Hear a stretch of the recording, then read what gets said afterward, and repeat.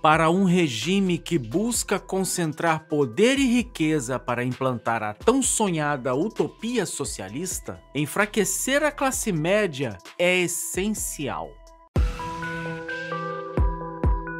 Este é o Visão Libertária, sua fonte de informações descentralizadas e distribuídas. Ajude a propagar as ideias de liberdade. Deixe o seu like e compartilhe com seus amigos. Um artigo seu pode virar vídeo aqui também, sabia? Este artigo foi escrito por Akita, revisado por Leafar do Leafar Verso e será narrado por mim, Djalma Guedes. Por que é interessante para um governo de mentalidade ultracoletivista aniquilar a classe média de seu país? Um governante autoritário em sua gana por concentrar poder e riqueza tem como principal alvo a classe média devido à sua maior mobilidade social. Ou seja, a classe média que independe das políticas assistencialistas do governo para sobreviver, representa a oposição mais difícil de ser combatida num curto e médio prazo. Basicamente, a classe média é frequentemente vista como um obstáculo para regimes autoritários ou sistemas onde o governo deseja centralizar o poder. Ao enfraquecer a classe média,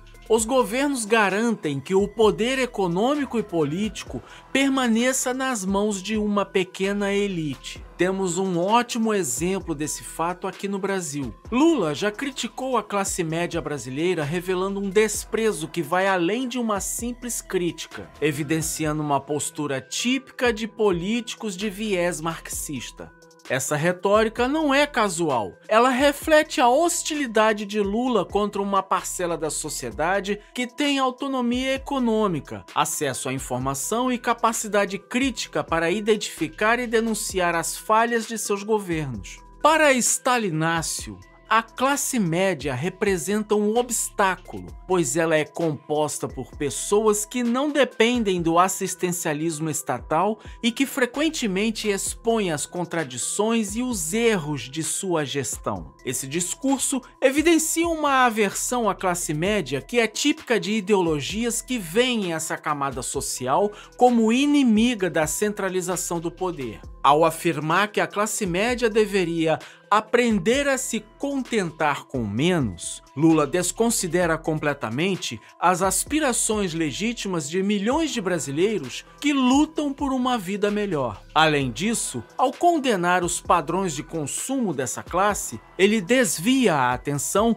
das políticas econômicas desastrosas que marcam sua gestão. Quando o governo aumenta a dependência do Estado, controlando serviços essenciais como saúde, educação e segurança, as pessoas ficam mais vulneráveis ao clientelismo e ao controle político. Assim, tornam-se dependentes de programas sociais e menos propensas a se rebelar. A classe média costuma ser uma das principais vozes de oposição a políticas públicas impopulares devido ao seu nível educacional e capacidade de organização. Ao enfraquecer essa classe, o governo reduz o potencial de resistência à sua autoridade, dificultando a organização de movimentos de oposição. Além disso, um governo que favorece elites e interesses corporativos pode ver o enfraquecimento da classe média como uma forma de evitar reformas estruturais. Uma classe média forte pressiona por melhorias como reformas fiscais, serviços públicos de qualidade, maior transparência e principalmente diminuição de impostos. Enfraquecendo-a, o governo previne essas mudanças, mantendo a hierarquia social e econômica. Governos autoritários também encontram maior facilidade em controlar classes mais baixas, que possuem menor acesso a informações e recursos e tendem a ser mais vulneráveis à manipulação ideológica. Enquanto isso, uma classe média forte tende a ser mais crítica, dificultando o domínio total do governo.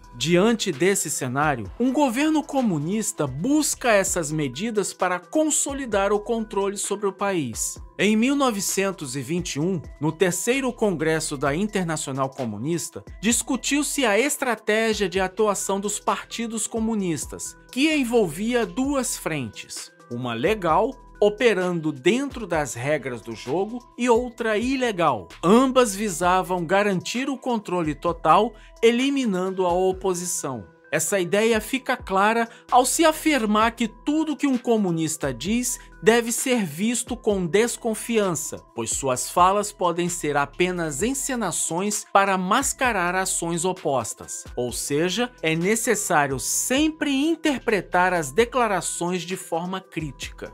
Um exemplo recente no Brasil pode ser encontrado em outra declaração de Lula quando afirmou: Quero transformar esse país em um país de classe média.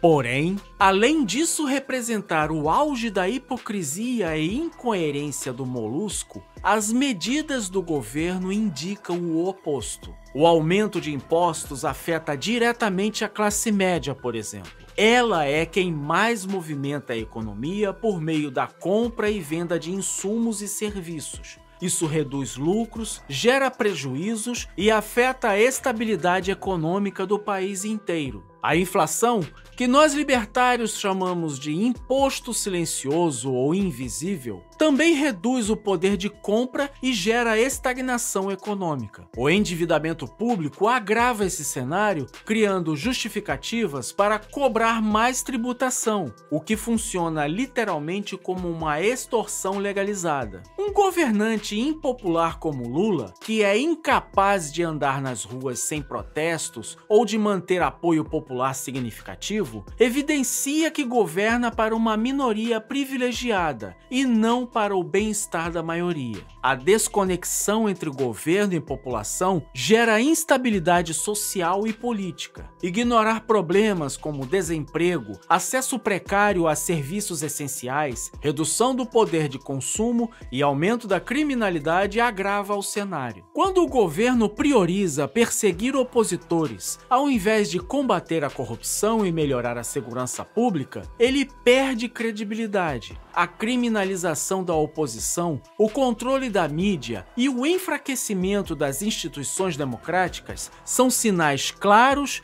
de regimes autoritários em ascensão. E ainda há um aspecto cínico. As elites que roubam o povo frequentemente gastam seu dinheiro em países capitalistas, desfrutando de fartura e abundância. Raramente optam por viagens a Cuba ou Venezuela, embora financiem metrôs e apoiem ditadores em nome da ideologia. Nossa maior defesa contra esse sistema é a informação descentralizada e distribuída. Quanto mais tentam censurá-la, mais ela se torna relevante. A tecnologia é nossa aliada para escapar das garras de governos autoritários. A narrativa estatista de Lula e de políticos com viés marxista perde força à medida que mais pessoas reconhecem as contradições e o desprezo pela classe média e pelas liberdades individuais. Declarações que tentam culpabilizar a classe média por problemas estruturais são incapazes de ofuscar o fato de que o estatismo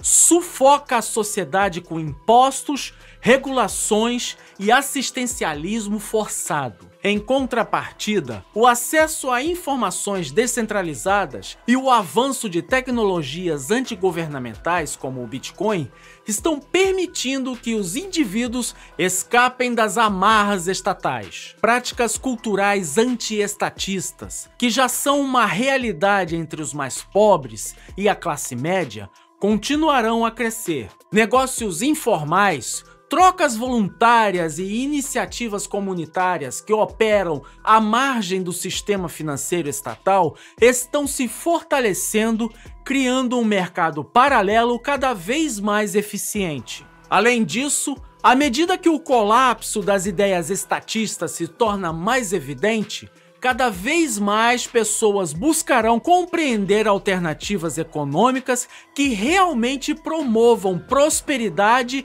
e liberdade. Nesse processo, crescerá o interesse por autores como Ludwig von Mises, Murray Rothbard, Friedrich Hayek e Samuel Conquin cujas obras apresentam fundamentos econômicos sólidos e modelos de organização social mais éticos e financeiramente benéficos para todos. Esses pensadores defendem o livre mercado, a descentralização do poder e a importância da cooperação voluntária mostrando caminhos para uma sociedade mais próspera e menos dependente do Estado. Com o despertar dessa consciência, as bases do estatismo continuarão a ruir, enquanto ideias libertárias ganham cada vez mais força no imaginário popular. Esse movimento não só mina o controle do governo, mas também acelera a transição para um modelo de livre mercado genuíno, tornando-se irreversível. À medida que mais brasileiros se libertam das amarras do Estado, a narrativa centralizadora entra em colapso, deixando espaço para um futuro de liberdade econômica e individual. Obrigado pela audiência. Esse é um canal colaborativo. Participe você também. Cadastre-se agora mesmo no nosso site visãolibertaria.com e envie seus artigos por lá. Nossos colaboradores recebem recompensas em Bitcoin. Inscreva-se no canal e clique no botão da campainha para ser avisado de novos vídeos. Até a próxima e viva a liberdade, carajo!